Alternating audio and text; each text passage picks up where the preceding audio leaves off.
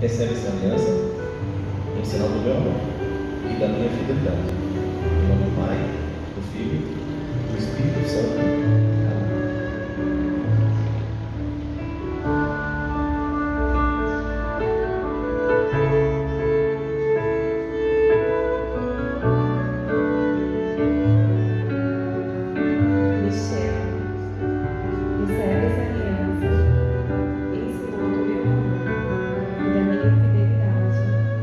you.